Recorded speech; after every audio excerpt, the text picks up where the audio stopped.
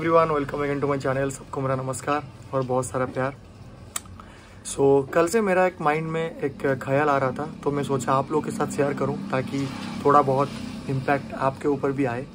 आ, तो चीज़ ये है कि हम लोग लाइफ में एनी टाइम और एनी मोमेंट कभी भी ट्राई नहीं करना चाहिए कि हर चीज़ सही हो या फिर हर रिलेशनशिप सही हो या फिर हर काम को हम लोग ही कर सकें और सब कुछ हम लोग कर देंगे। ऐसा नहीं हो सकता है। और हर चीज़ को हम लोग हंड्रेड टू हंड्रेड दे सके। ऐसा नहीं हो सकता है। तो लाइफ में ये चीज़ याद रखिए, हर चीज़ के लिए ओरिड होना हमारा काम नहीं है। और लाइफ एक ऐसा चीज़ है, बहुत सारा चीज़ ऑटोमेटिक होता है, बहुत सारा चीज़ हमारे से होता है, बहुत सारा चीज़ लोगों से होता है। तो वो फिर फ्रेंडशिप हो रिलेशनशिप हो, काम हो बिज़नेस हो, कुछ भी हो।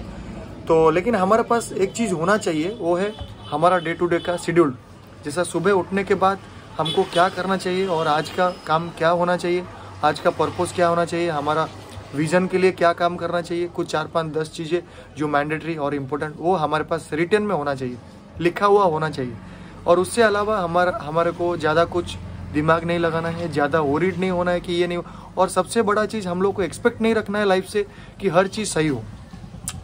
तो इसीलिए मैं आपको बता देना चाहता हूँ कि अगर कोई भी आपका खुद का हो या फिर रिलेशनशिप में कोई आपको ज़्यादा प्यार करता हो, ज़्यादा मतलब आपसे ज़्यादा खुश हो तो वो चीज़ कभी भी वो रिलेशनशिप आपका कभी भी ख़त्म नहीं होगा। या फिर आप उसको कॉल नहीं कर रहे हैं, कर रहे हैं, उसका मतलब नहीं है। या फिर उसको टाइम दे रहे हैं, उसका मतलब नहीं है। वो आपको ज़रूर समझेगा कि हाँ ये मेरे लिए है और मैं इसके साथ रहूँगा।